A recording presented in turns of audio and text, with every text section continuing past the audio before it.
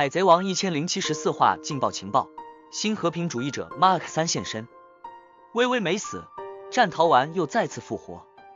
海贼王最新话一千零七十四话的情报信息已经公布，本话的劲爆程度完全不输上一话吴老星登场，新和平主义者 Mark 三的出现，一起参加战局。战逃完复活并断后，战逃完被陆琪重创后，这话马上复活了过来。为了保护让贝加庞克可以顺利离开艾格赫德，他召集了五十只新和平主义者，也就是一千零七十四话的标题 Mark 三之后的发展大概率是战逃完保护贝加庞克逃离，有可能遇到大将黄猿和吴老星继续此篇章。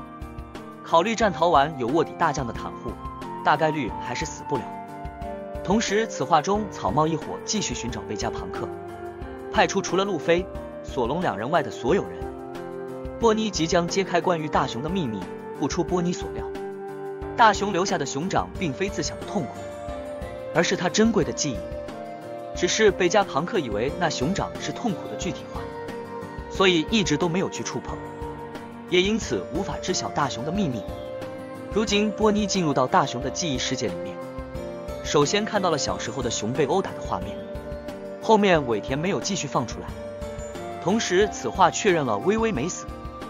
摩根斯将再次制造造谣大新闻。情报说，薇薇和摩根斯还有瓦波尔在一起，但是为什么在一起？将会宣布新的什么大事件？要继续等等看。不过大事件必定会引起世界的震惊。